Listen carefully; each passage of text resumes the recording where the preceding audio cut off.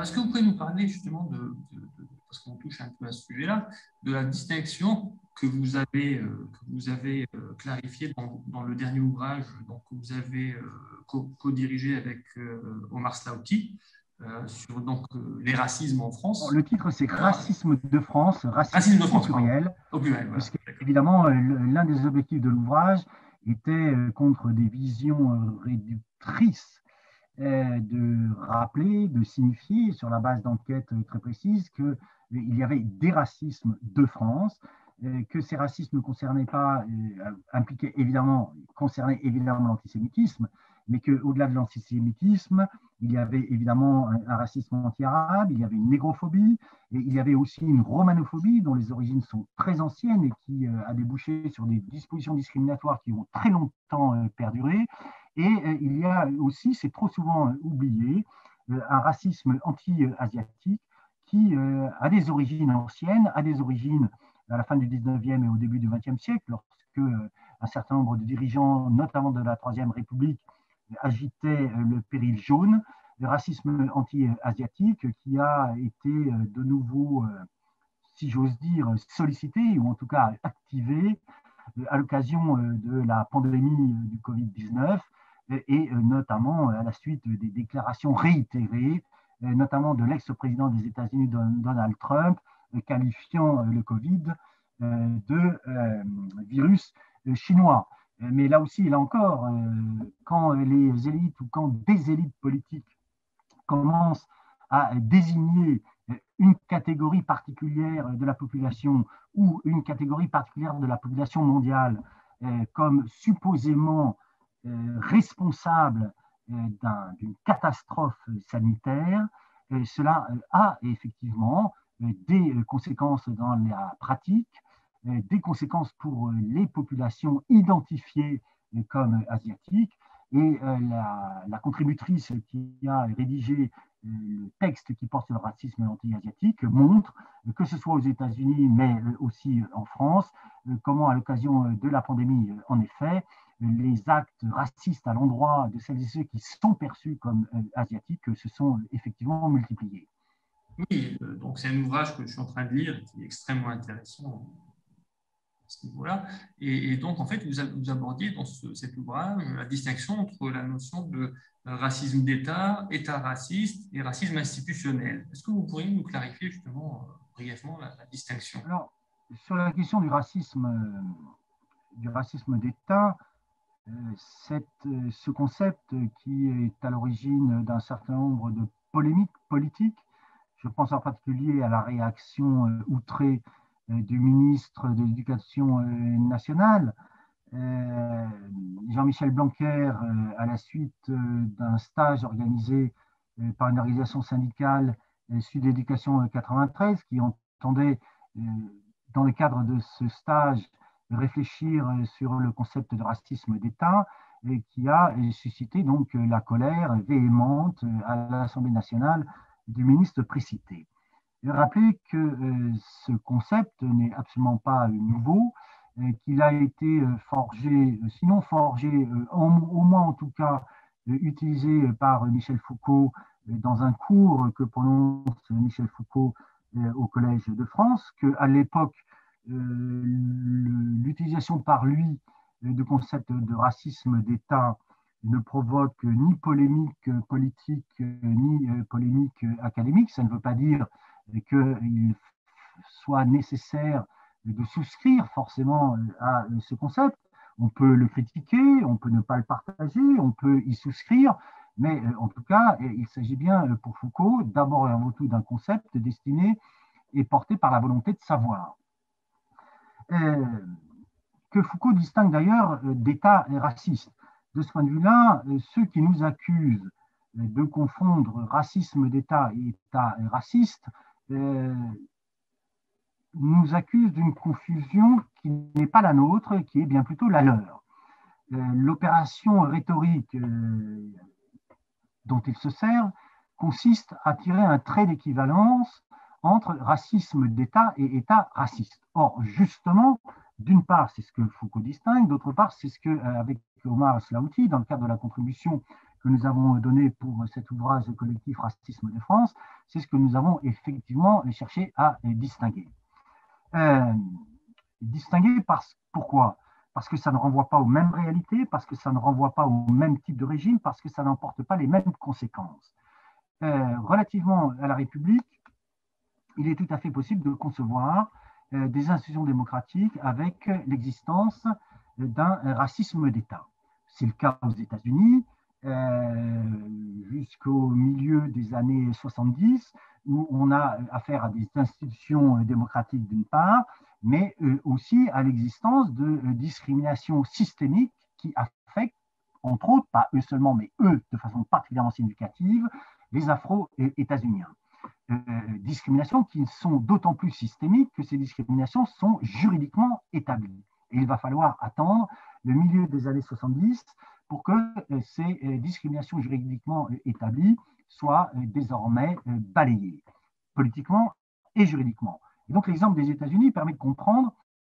qu'il est tout à fait possible de concevoir des institutions républicaines avec un racisme d'État. Cela vaut également pour la France, la France de la Troisième République, la France de la Quatrième République, la France de la Cinquième République, au moins jusqu'en 1962, est à la fois une France républicaine et une France qui, eu égard à la condition juridique et politique des indigènes jusqu'en 1945 et eu égard à la condition politique euh, décolonisée jusqu'en 1962, euh, peut et doit être considérée à la fois comme une république, mais une république au sein de laquelle a euh, prospéré également un, racisme d'État. Ceci est complètement différent d'un État raciste. L'exemple le plus probant, le plus décrié et le plus connu d'État raciste, et euh, évidemment l'Afrique du Sud au temps de l'apartheid, qui est un État raciste parce que cet État euh, repose encore une fois sur une conception hiérarchisée du genre humain. les conséquences de cette représentation hiérarchisée du genre humain sont évidemment la multiplication de dispositions juridiques discriminatoires instituant un certain nombre de minorités raciales comme minorités raciales ne jouissant pas, bien sûr, des mêmes droits que les Blancs. On a donc affaire là à un État raciste et à un racisme d'État. Voilà euh, pour l'essentiel. On ne peut pas, vous l'avez cité euh, entre autres, euh, oublier que, indépendamment des républiques, le régime de Vichy a été un État raciste, donnant lieu et donnant corps à un racisme d'État, dans le cadre d'un régime qui n'était plus un régime républicain, qui était un régime dictatorial, et, qui a donné lieu aussi, et d'abord et avant tout, c'est le cas du célèbre statut des Juifs du 30 octobre 1940, à l'avènement antisémitisme d'État, ce qui est euh, une première dans l'histoire contemporaine euh, de la France. Quant au racisme institutionnel, il s'agit encore d'autre chose il s'agit euh, du racisme qui peut exister euh, au sein euh, de différentes institutions, alors même que ces institutions et ceux qui les animent, et celles et ceux qui les animent, sont en général pensés comme des institutions où les discriminations ethno-raciales n'ont pas cours. Je pense en particulier à l'institution scolaire et hospitalière. Là aussi, et là encore, les contributions montrent que au sein de ces institutions existe néanmoins ce qu'il est convenu d'appeler donc un racisme institutionnel, euh, c'est-à-dire un racisme qui se déploie indépendamment, dans certains cas, de la volonté des acteurs, qui est euh, ce racisme et ces discriminations inscrites dans l'institution elle-même en raison de toute une série de dispositions qui affectent spécifiquement les catégories racisées, notamment au sein de l'institution scolaire, et éventuellement aussi d'ailleurs au sein de l'institution universitaire, où l'on sait que les populations racisées qui fréquentent ces institutions scolaires euh, sont euh, plus fréquemment euh, orientées vers des filières courtes, vers des filières professionnelles, sortent beaucoup plus tôt, statistiquement parlant, de l'enseignement secondaire que les populations non racisées, avec toutes les conséquences que euh, ces discriminations vont euh, avoir, puisque sortant plus précocement de l'institution scolaire, ça veut dire que ces populations racisées vont euh, disposer de diplômes bien inférieurs à ceux dont disposeront le groupe majoritaire, les Blancs, disposant de diplômes inférieurs au groupe majoritaire, les Blancs, vont avoir plus de mal à s'insérer sur le marché du travail, vont avoir accès à des situations professionnelles inférieures, moins bien rémunérées, plus exposées, et, vont effectivement ensuite, en raison même de ces discriminations qui affectent leur parcours professionnel, être confrontés à des discriminations en matière de logement qui sont liées aussi aux discriminations qui les affectent d'un point de vue salarial. Et l'on voit comment, au fond, ces discriminations qui ont lieu au sein de l'institution scolaire ont, euh, affectent de façon très profonde l'ensemble de l'existence des populations racisées parce qu'elles euh, sont, au fond, matricielles et principielles, ces discriminations au sein de l'institution scolaire, et parce qu'elles produisent des effets euh, en chaîne qui sont extrêmement importants sur la durée. Est-ce que la France n'est pas en train de devenir, avec, euh, avec la loi séparatisme par exemple, euh, est-ce qu'elle n'est pas en train de devenir un État euh, raciste, justement? Parce que là, en fait, par exemple, les mères, les mères ne pourront plus aller chercher leur gamin à l'école avec un voile. donc là, ça touche quand même la liberté de la liberté d'aller venir, la liberté de s'habiller. Donc, c'est des choses vraiment assez, assez, assez fondamentales. Euh, donc il y, aura vraiment, enfin, on, sera bientôt dans, un bus où il y aura euh, voilà, les blancs devant et puis les, noirs et les arabes derrière. Est-ce que c'est... Ben, non, justement, c'est ce qui permet, ça ne veut pas dire que la loi séparatiste euh, contre le séparatisme n'est pas une loi dont il est, qu'il est possible de caractériser comme étant une loi islamophobe, comme étant une loi discriminatoire. Et vous avez raison de le souligner, ce n'est pas simplement cela c'est aussi une loi qui, pour celles et ceux qui sont visés, est une loi qui porte atteinte effectivement à des droits et libertés fondamentaux et une loi qui, encore une fois, est portée là aussi, là encore, par une conception sectaire et liberticide de la laïcité. Avec d'ailleurs, il n'était pas besoin d'être très grand clair pour s'en douter, que dès lors que le chef de l'État, le gouvernement, la majorité qui les soutient, s'engageait dans un débat de ce type, euh, il était clair que cela ne pouvait que favoriser euh, une surenchère politique, une surenchère euh, juridique dont le Sénat, à majorité de droite, a donné l'exemple sinistre en multipliant effectivement des dispositions dont d'ailleurs même les députés de la majorité reconnaissent et sont obligés de reconnaître que ces dispositions sont à ce point radicales et à ce point liberticides que vraisemblablement, si elles étaient adoptées, elles seraient euh, immédiatement euh, censurées par le Conseil constitutionnel au motif justement qu'elles portent atteinte à des droits et, libertés euh, fondamentaux. Donc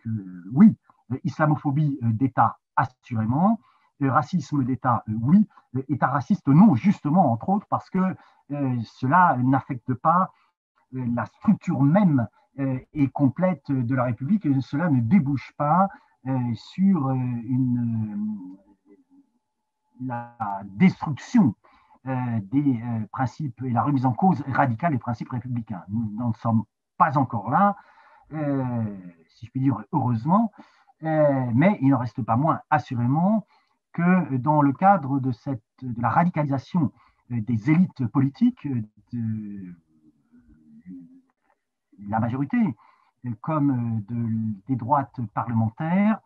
nous assistons euh, année après année, euh, disposition législative après disposition législative, à, des attaques réitérées, d'une part contre les musulmanes et les musulmans, et d'autre part contre les libertés démocratiques. Rappelez que sur ce point, je, je vais le citer parce que l'opuscule est très important, il n'y a pas seulement des islamo-gauchistes qui disent cela, euh, l'avocat est désormais académicien, puisqu'il a été élu récemment à l'Académie française. Euh, François Sureau a publié un texte qui est petit par le volume, mais extrêmement important du point de vue de son contenu, euh, qui s'appelle Sans la liberté, qui est un texte qui est paru en 2020, si ma mémoire ne me trahit pas, et où François Sureau se livre à une analyse très précise de la dégradation très spectaculaire en France des droits et libertés euh, individuels et collectifs, euh, en matière de liberté de manifestation, par exemple, euh, de liberté d'expression, de militarisation croissante de la répression de manifestations par ailleurs parfaitement pacifiques et que le bilan qu'il en tire est effectivement,